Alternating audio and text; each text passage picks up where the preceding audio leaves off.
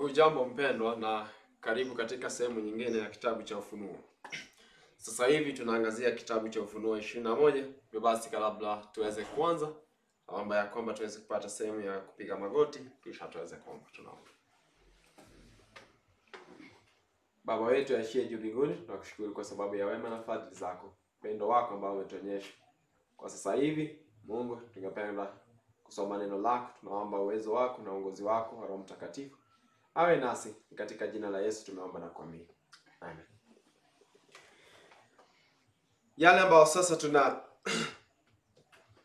bakia si mengi sana, ingawa bado ni muhimu katika maisha ya Wakristo, lakini sasa tunataka kutazama yale ambayo ni malipo ya waliofanya uaminifu katika neno la Kristo. Hivyo basi tuliona ya kwamba Ufunuo ishirini ni ufunuo ambayo uh, uzungu, uzunguka katika sehemu tofauti una shuhudia kuhusu uh, kufungwa kwa shetani ama yule joka akipigwa pingu ama minyororo na yule malaika mwenye ufunguo wa uh, kuzimu. Kisha tumeona pia sehemu ambayo mwenyewe amefungwa kwa mwaka wa elfu moja ama milenia moja. Tena pia tumeweza kuona jinsi ambavyo Wakristo ambao waliweza kuwa waaminifu, sasa maandiko yanaonyesha ya kwamba hao wenyewe sasa wamekuwa wenye ambao wanahukumu dunia sasa, in the review, kile ambacho tunaita the review judgment. Kisha tukaona jinsi ambavyo hao ambao waliweza kuwatesa pia katika kitabu hicho wataweza kuwekwa katika moto wa Jehanamu, akiwepo joka, yule mwingine anaitwa mnyama na yule mwingine anaitwa nabii wa uongo na wote ambao hawako waaminifu. Hivyo basi ni muhimu sana kujua ya kwamba wale walioaminifu watapata sehemu katika uh, uh, ufalme wa Mungu. Kitabu cha Ufunuo ishirini na moja unazungumzia uh, uh, uh, bingu mpya na nchi mpya, na tunajua ya kwamba huo bingu mpya na nchi mpya, hiyo ndiyo tunapiga mbio tukielekea. Mambo haya yote tunayofanya tunafanya ili tuweze kuurithi ufalme wa Mungu. Hivyo basi tuliona ya kwamba katika Ufunuo ishirini pia umeonyesha ya kwamba uh, Mungu ameweza kutuonyesha jinsi ambavyo mwanakondoo ama samani uh, kumi na tisa tuliona jinsi ambavyo mwanakondoo atakuwa na yule bikra ambaye atakuwa tayari ili aweze kuolewa na mwanakondoo. Hivyo basi natumai ya kwamba ishirini na moja basi itaonyesha jinsi ambavyo wataenda katika uh, sherehe ama karamu ile ambayo tunaita katika mambo ya ndoa honeymoon kule mbinguni. Kisha tunajua ya kwamba nyumbani kwao ya kwanza itakuwa the new earth. Hivyo basi wanapoenda pale mbinguni wanaenda pale kama honeymoon, na wakati huo ndio Mungu anawaweka pale mafichoni, kwa sababu Mungu anataka kutakasa dunia hii. Na anaitakasaje? Kwa kutoa wenye dhambi wote. Ufunuo ishirini na moja mstari wa kwanza inasema ya kwamba kisha nikaona mbingu mpya na nchi mpya kwa maana mbingu za kwanza na nchi ya kwanza zimekwisha kupita, wala hapana bahari tena. Nami nikamuona mji ule mtakatifu Yerusalemu mpya ukishuka kutoka mbinguni kwa Mungu, umeweka tayari kama bibi harusi aliyekwisha kupambwa kuwa kwa mumewe.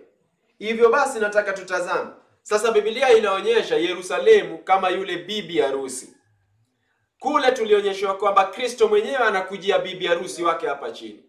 Tunajua ya kwamba mnamo mwaka wa 1844 Kristo alipoingia katika patakatifu pa patakatifu, kitabu ni Danieli 4 8 mstari wa 14. Kristo alienda kupokea, alienda kupokea nini? Alienda kupokea yule bikra safi ambaye alikuwa tayari kuolewa. Ilikuwa ni ndoa ambayo ilikuwa inaonyeshwa pale, lakini alienda kuipokea vipi? Kupitia kwa hukumu ya upelelezi. Kristo mwenyewe alikuwa anafanya nini? Alikuwa anatayarisha wale ambao wataweza kurithi ufalme wa Mungu. Hivyo basi twajua ya kwamba Yerusalemu mpya pale imeonyeshwa kama ndiye bikra wa Yesu Kristo ambaye alikuwa anaenda kumwoa. Tena tunajua Biblia pia inasema ya kwamba kanisa la Mungu pia ni mke wa Kristo. Hivyo basi lazima tuone jinsi ambavyo mambo haya yanaingiliana, kwa sababu Biblia haiwezi ikajipinga. Hivyo basi tunajua ya kwamba wale ambao kanisa hutengenezwa na watu Kanisa si jengo, kanisa si jina. Hivyo basi wanaotengeneza kanisa ni watu. Hivyo basi wanaotengeneza ufalme wa Mungu ama Yerusalemu haitakuwa Yerusalemu pasipo watu wa kuweza kuurithi. Hivyo basi wanapoenda pale mbinguni na kuurithi ule ufalme, wanakuwa pamoja, ndio hawa watu wanaita sasa Yerusalemu inashuka. Inaposhuka iko na wale watakatifu ambao wamepata ushindi dhidi ya dhambi. Ndiyo maana Biblia inasema ya kwamba kisha nikaona bingu mpya na nchi mpya, kwa maana mbingu za kwanza na nchi ya kwanza zimekwisha kupita, wala hapana bahari tena. Nami nikaona mji ule mtakatifu Yerusalemu mpya ukishuka kutoka mbinguni kwa Mungu, umewekwa tayari kwa bibi harusi, kama bibi harusi aliyekwisha kupambwa kwa mmewe. Hivyo basi tunaona uh, ufalme huu ukishuka, tunaona ya kwamba hata anayeitwa Ibrahimu alikuwa akitazamia mji huo. Kitabu ni kitabu cha Waibrania kumi, Waibrania kumi, Waibrania kumi mstari ni wa uh, uh, Waibrania kumi mstari ni wa chaniangalie kumi na moja mstari wa kumi. Kumi na moja mstari wa kumi. Natumai ni kumi na moja si kumi. Kumi na moja mstari wa kumi. Inasema,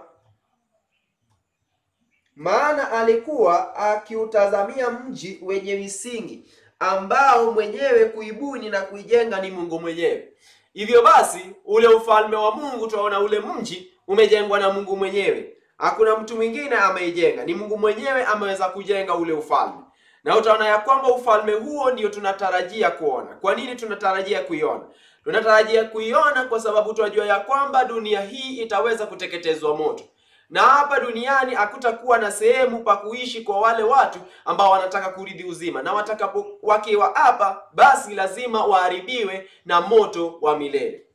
Hebu tuende katika kitabu cha Petero wa pili tatu kumi na moja hadi kumi na tatu tatu kumi na moja hadi kumi na tatu kwa maana kuna watu ambao wanafundisha ya kwamba tutaweza kurithi falme za hizi dunia pasipo kwenda kule mbinguni. Yaani wanasema ya kwamba uh, uh, baadhi ya madhehebu ambao yanasema ya kwamba hao uh, wataweza kuishi katika, katika vile vile vile viumba ambavyo wametengenezwa hapa, vyumba vya ufalme kingdom halls. Acha tuende pale tuone jinsi ambavyo Petro anazungumza katika Petro wa pili. Haya, tunaona maandiko yanasema nini itafanyika hapa duniani, ndipo sa watu waweze kutayarisha maisha yao kwa ajili ya kwenda mbinguni. Petero wa pili tunaangalia tatu kumi na moja inasema hivi: basi kukaa vitu hivi vyote vitafumuliwa hivyo, imewapasa nyinyi kuwa watu wa tabia wa namna gani? Katika mwenendo mtakatifu na utaua? Mkitazame hata ije siku ile ya Mungu na kuimiza ambayo katika hiyo bingu zitafunuliwa. Zikiungua, na viumbe vya asili vitateketea na kuyeyuka. Lakini kama ilivyo ahadi yake, tunatazamia bingu mpya na nchi mpya, ambayo haki yakaa ndani yake. Katika bingu mpya na nchi mpya kuna haki inayokaa ndani yake. Hivyo basi ndiyo maana hata Kristo mwenyewe ambaye ndiye mwana wa Mungu aliweza kuahidi wanafunzi wake wakati ambao walikuwa wanahitaji mwenye kuwafariji katika kitabu cha Yohana 14 mstari wa kwanza hadi watatu. Maandiko yanasema vipi? Maandiko yanasema hivi, sikiza mpendwa, yanasema msifadhaike moyoni mwenu, mwamini Mungu nami pia mniamini. Nyumbani mwa Baba yangu mna makao mengi kama sivyo ningaliwaambia, maana naenda kuandalia mahali. Basi mimi nikienda na, na niwaandalie mahali, nitakuja tena niwakaribishe kwangu, ili mlipo nilipo mimi nyinyi pia, ama nanyi pia muwepo. Kuna bingu mpya ama kuna sehemu ambayo Kristo mwenyewe anatutengenezea.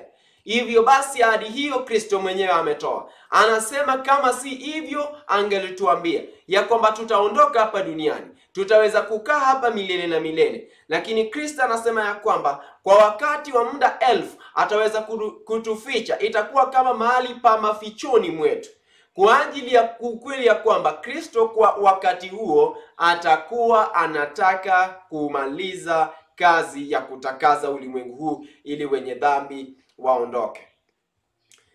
Mara nyingi twaona ya kwamba Biblia inasema hivi, kitabu ni Ufunuo ishirini na moja inasema hivi, Biblia inasema hivi, mbingu mpya wala hapana bahari tena. Kisha nikaona mbingu mpya na nchi mpya, kwa maana mbingu ya kwanza na ya na nchi ya kwanza zi, uh, wa kwanza zimekwisha kupita, wala hapana bahari tena. Kwa nini neno hilo limetumiwa hapana bahari? Tuliona katika kitabu cha Ufunuo 17 mstari wa 15 ya kwamba bahari unaashiria watu. Hivyo basi hakukuwa na watu katika ule bingu na ule nchi ambao ulikuwa wa kale. Hivyo basi ule wa kwanza umepita. Hivyo basi kama umepita, wenye dhambi wote wamwondolewe. Hivyo basi wanaposema hapana bahari, inaweza kuwa ya kwamba hakuna maji, na tunajua ya kwamba yale maji yanamaanisha ya kwamba kulikuwa na watu. Hivyo basi hakuna watu pale. Hivyo basi Kristo katika ule ulimwengu uh, katika ule ulimwengu mpya tunaweza jiuliza, je, kutakuwa na watu wengi ama watu watu zaidi ya wale? Lakini tunajua ya kwamba tunaposoma jinsi ambavyo Mungu ameweza kuonyesha uh, mambo haya, twajua ya kwamba wale watakatifu ndio wataurithi ule nchi mpya, na kuna mtu ambaye mwenyewe ataweza ku ataweza kuongezeka pale, kwa sababu atakuwa amejaribiwa. Lazima tujaribiwe ili tuweze kumliki ufalme wa Mungu.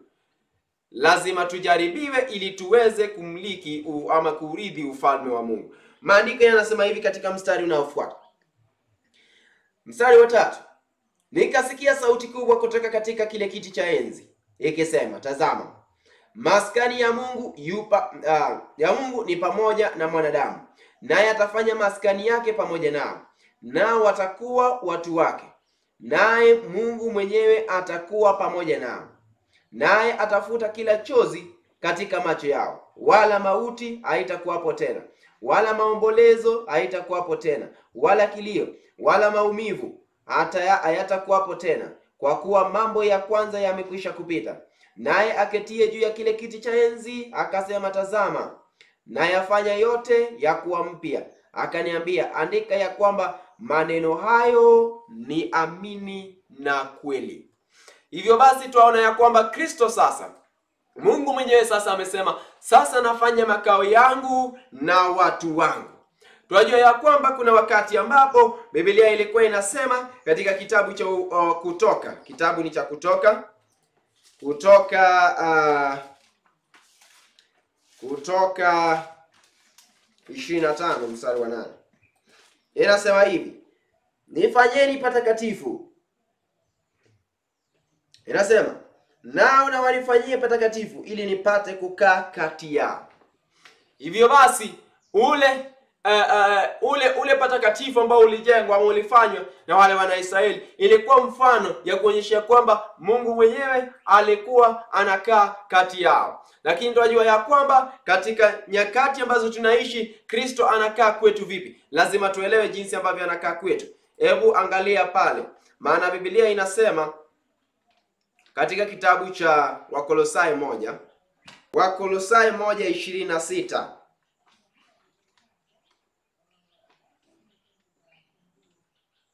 tufike pale,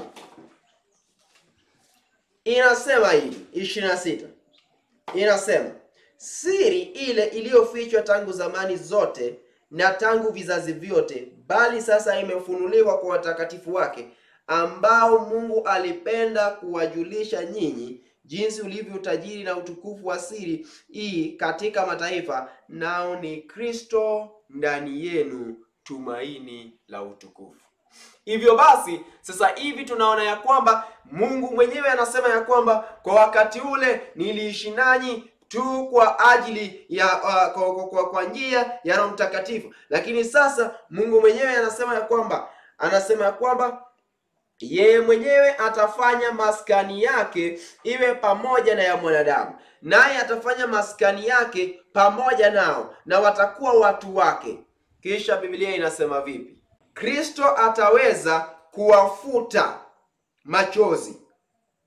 Yaani Biblia inasema ya kwamba, mstari wa tano inasema, naye aketie juu ya kiti cha enzi akasema, tazama, nayafanya mambo yote kuwa mpya nayafanya mambo yote kuwa mpya. Nimejiuliza, je, wanadamu pia watafanywa kuwa upya? Hakika ni ya kwamba kufanywa kuwa upya kwetu ni kubadilishwa kwetu, ili tuweze, ili umbo la Kristo iweze kurejeshwa katika maisha yetu, na ndiyo kazi ambayo Kristo sasa hivi anafanya katika sehemu patakatifu pa patakatifu. Mambo hayo unaweza yasoma katika Biblia. Kisha Biblia inasema hivi, yeye ashindaye, mstari wa saba. Wacha tusome mstari wa sita. Akaniambia, imekwisha kuwa mimi ni Alfa na Omega, mwanzo na mwisho. Huyo ni Kristo mwenyewe anazungumza. Mimi nitampa yeye mwenye kiu ya chemichemi, mimi nitampa yeye mwenye kiu ya chemichemi ya maji ya uzima bure. Yeye ashindaye ataridhi aya, nami nitakuwa Mungu wake, naye atakuwa mwanangu. Basi tunaona pale ya kwamba Kristo uh, ah, yeye ashindaye ataridhi haya, nami nitakuwa Mungu wake, naye atakuwa Mungu wangu. Tulishazungumza kuhusu uh, jambo hilo, tukaona jinsi ambavyo Kristo mwenyewe na Baba mwenyewe wanafaa kuabudiwa. Tukapata ya kwamba Mungu aliye wa kweli kulingana na kitabu cha kumi na saba ya Yohana mstari wa tatu ni Mungu Baba. Tukapata ana mwana Yesu Kristo, lakini tukaona ya kwamba huyo Kristo anaita Baba Mungu wake, lakini tunaonyeshwa kwamba Mungu mwenyewe Mungu Baba katika kitabu cha uh, uh, Ibrania moja nane ukiendelea pale chini anamwita yule Kristo Mungu. Sasa tunajua ya kwamba Kristo ana Mungu, lakini Baba hana Mungu. Lakini sisi tunaweza sema ya kwamba Kristo, kwa maana tunamwabudu, anaweza kuwa Mungu wetu. Hivyo basi tunaona jinsi ambavyo tuna Mungu mmoja na mwana mmoja Yesu Kristo. Haya, tuendelee pale chini. Biblia inasema hivi, bali waoga na wasioamini na wachukizao na wauaji na wazinzi na wachawi na hawa waabuduo sanamu na waongo hawana sehemu katika lile ziwa a, a, na waongo wote sehemu yao ni katika ile ziwa liwakalo moto na kiberiti. Hiyo ndiyo mauti ya pili. Hivyo basi wenye dhambi wote hawatakuwa na sehemu katika ufalme wa Mungu, hawana sehemu katika ule ufalme wa Mungu. Unaweza ona jambo hilo katika kitabu ni kitabu cha uh, enda katika kitabu cha Wagalatia, kitabu ni Wagalatia tano mstari wa kumi na nane. Inasema mstari wa kumi na tisa basi matendo ya mwili ni dhahiri, ndiyo haya: uasherati, uchafu, ufisadi, ibada ya sanamu, uchawi, uadui, ugomvi, wivu, asira, fitina, faraka, uzushi, usuda, ulevi, ulafi na mambo yanayofanyana na hayo. Katika hayo nawaambia mapema, kama nilivyokwisha kuambia ya kwamba watu watendao mambo ya jinsi hiyo hawataurithi ufalme wa Mungu. Wako na sehemu yao katika ule moto, ama Biblia inasema katika moto, katika ile ziwa la mo, liwakalo moto na kiberiti, na hiyo ndiyo basi mauti ya pili. Ndio maana nilisema kwamba Kristo hakafa mauti ya pili, kwa maana mambo haya Kristo hakuyatenda. Aya, mstari wa tisa pale, tukiendelea kuangalia jambo hili, jinsi ambavyo maandiko yanazidi kuendelea mbele, inasema hivi: akaja mmoja wa wale malaika saba waliokuwa na vile vitasa saba vilivyojaa yale mapigo saba. Sasa imeturudisha katika yale mapigo saba, naye akanena nami akasema, njoo huku nami nitakuonyesha yule bibi harusi, mke wa mwanakondoo. Sasa anaambia Yohana ya kwamba mimi nishakuonyesha jinsi ambavyo mapigo yataanguka juu ya Babeli, lakini sasa kuja uone yule bibi harusi. Bibi harusi yupi? Yaani mke wa yule mwanakondoo.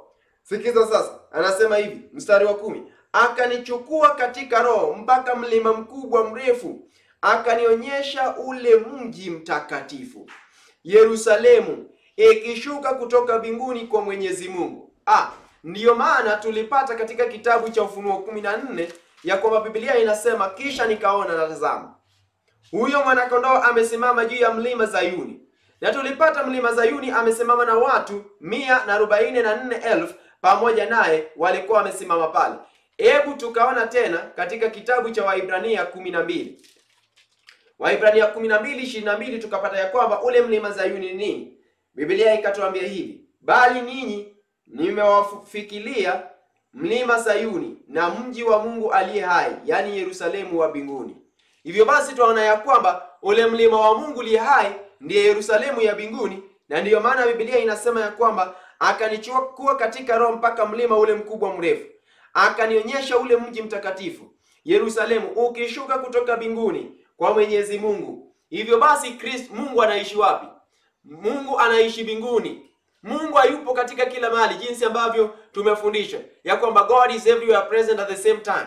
Tunapata ya kwamba Kristo Mungu, ukiangalia katika Biblia, sehemu yake ipo binguni Hivyo basi ndio maana tunaomba Mungu wetu aliye juu binguni maana Mungu makao yake ni binguni Hivyo basi kama angekuwa binguni tungesema ya kwamba Mungu wetu aliye katika kila sehemu, ama aliye hapa duniani, aliye kila mahali lakini twajua ya kwamba makao ya Mungu iko juu mbinguni, lakini Mungu hujidhihirisha kwetu kupitia kwa njia ya Roho Mtakatifu. Yeye mwenyewe hujidhihirisha kwetu kwa njia ya Roho Mtakatifu, lakini yeye na mwanawe ni watu ambao wana umbo, God as a shape, God as a body.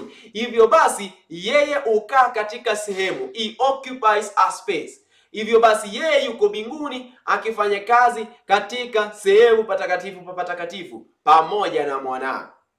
Hivyo basi tunapata ya kwamba uh, Yerusalemu imetoka kwa Mungu, kumaanisha kwamba Mungu yuko mbinguni. Hivyo basi maandiko yanasema hivi katika mstari wa kumi na moja wenye utukufu wa Mungu na mwangaza wake ulikuwa mfano wa kito chenye thamani nyingi kama kito cha yaspi kama bilauri. Hapa tunapoangalia mstari wa kumi na moja unaweza kurejelea jinsi ambavyo mji ambao unaitwa mji wa Babeli ulivyojengwa. Tuliona pia ilikuwa inajirembesha na kitu cha thamani, ilikuwa na mali mingi sana, ilikuwa na madini mengi sana, ilikuwa imerembeshwa sana. Lakini sasa ona hapa Kristo amerembesha ufalme wake kushinda ufalme wa dunia hii.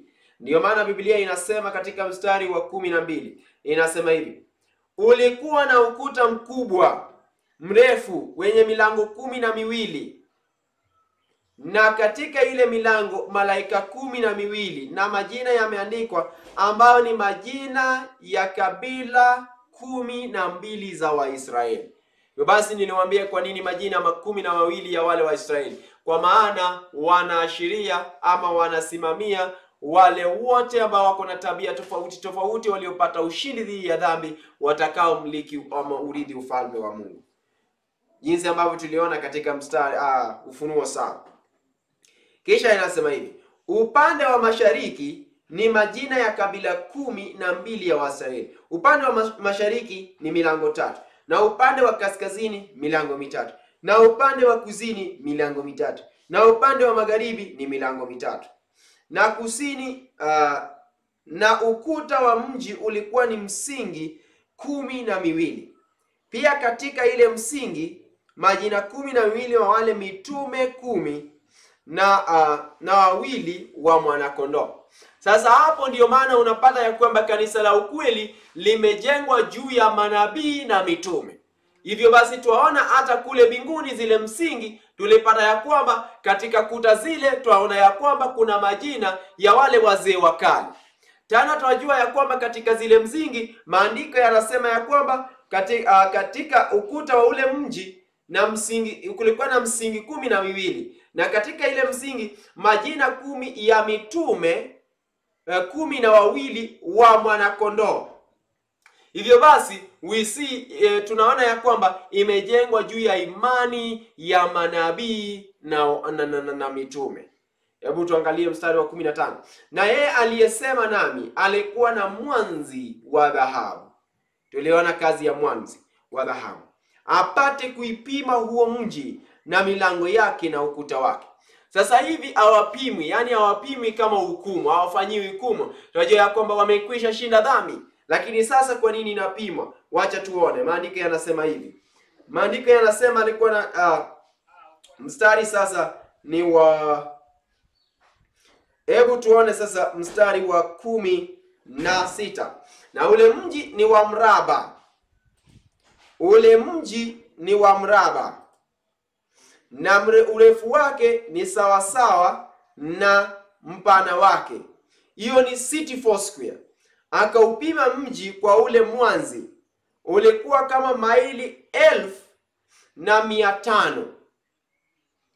Marefu yake na mapana yake na kwenda juu kwake ni sawasawa city foursquare.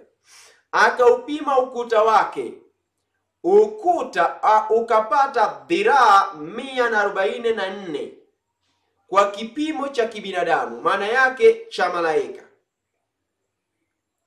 Na majensi ya ule ukuta ulikuwa ya yaspi na mji ule ulikuwa wa dhahabu safi mfano wa kio safi.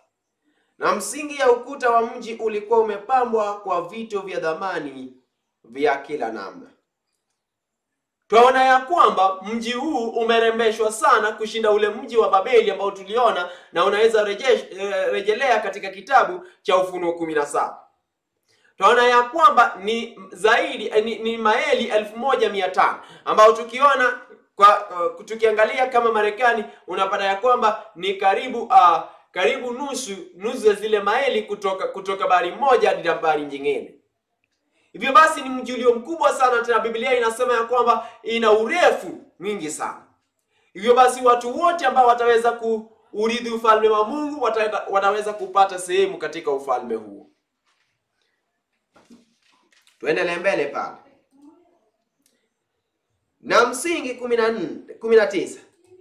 Na msingi ya ukuta wa mji ulikuwa imepambwa kwa vitu vya thamani vya kila namna msingi ya kwanza ilikuwa yaspi ya pili ya kutisamawe watatu kalkedoni wanne zumerari watano sardoniki wa sita akiki wa saba kristolithi wanne zabara, zabarajari wa kenda yukuti, yakuti ya manjano ya kumi krisopraso ya kumi na moja ya kinitho. Ya kumi na mbili amethisto na ile milango kumi na miwili ni lulu kumi na mbili. Kila mlango ni lulu moja. Na njia ya mji ni dhahabu safi kama kioo king'aavyo. Nami sikuona hekalu ndani yake.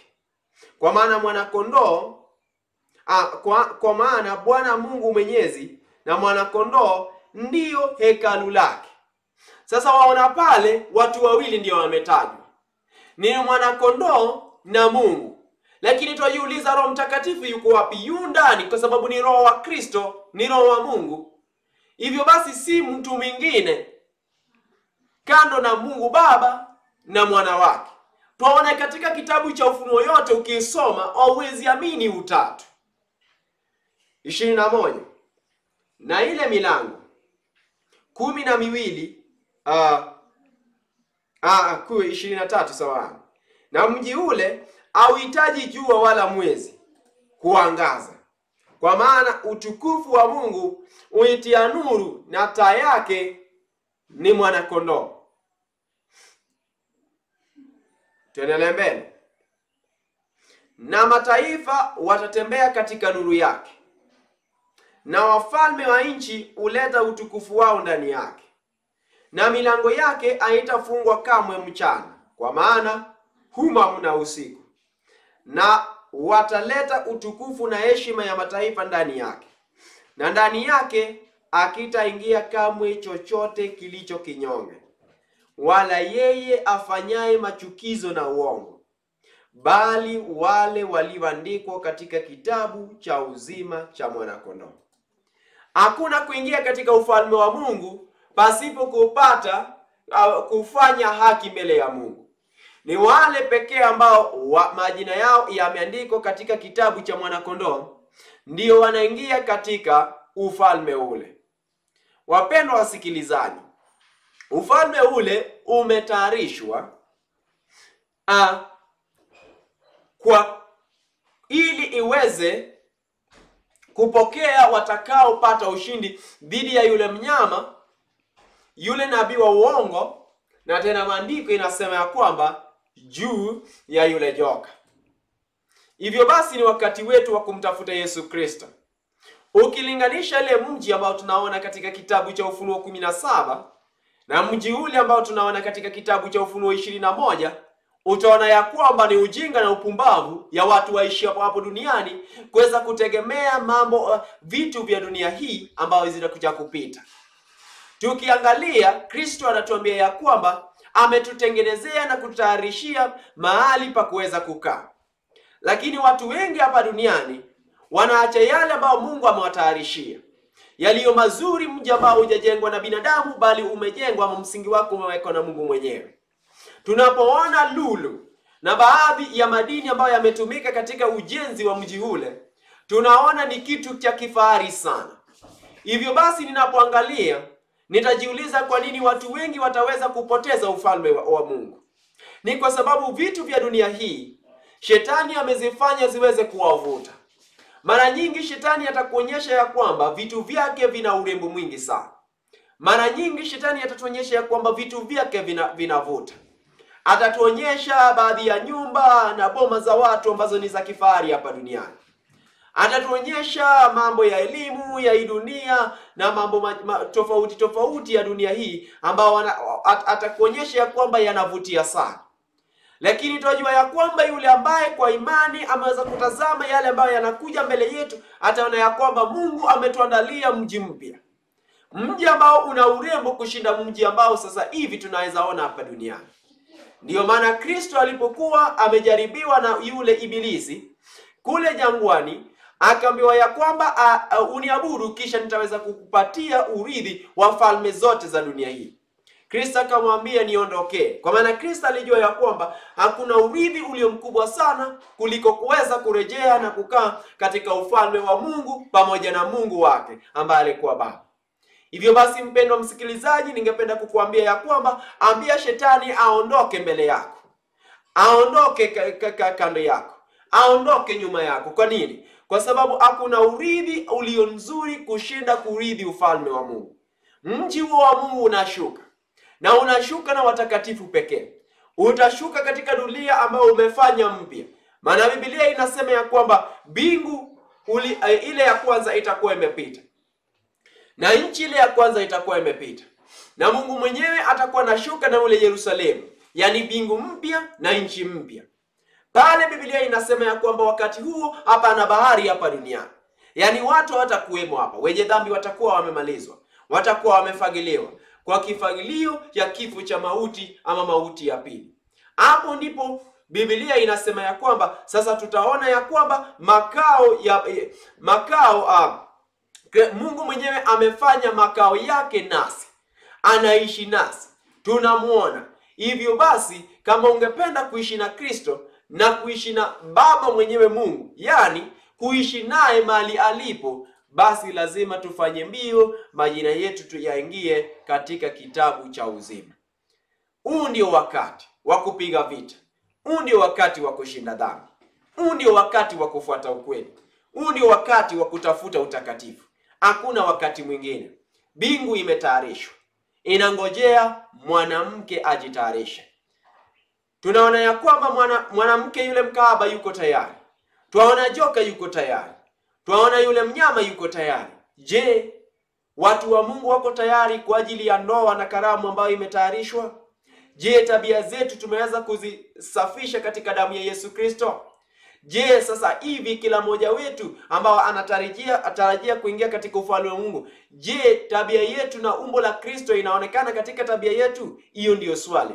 Mungu kwa hakika anangojea sana kwa hamu na gamu ya kwamba tabia ya Kristo idhirishwe katika maisha ya watu wake, ndipo ataweza kumtuma Kristo mwanawe akuje kuchukua kanisa lake liweze kuingia pale mbinguni na tukae na Kristo milele hata milele katika nchi mpya na mbingu mpya, na mbarikiwe. Tuombe. Tunakushukuru kwa sababu ahadi yako ni kweli. Tumetazamia jinsi Ibrahimu alivyotazamia. Tukaona bingu mpya ambayo umetutayarishia. Tunakuomba ya kwamba sasa hivi tuamini ya kwamba uko nasi kupitia kwa Roho wako, lakini ungependa kuishi nasi pamoja pale binguni Utusaidie ili tuweze kupata ushindi dhidi ya mvuto wa dunia hii, tuvutwe na ya mbingu, utukufu ambao hii mbele yetu. Ni katika jina takatifu la Yesu Kristo tumeomba na kuamini, amen. Mbarikiwe na mafundisho zaidi mnaweza pata katika mtandao wa www.revelationwithdaniel.com na mbarikiwe sana.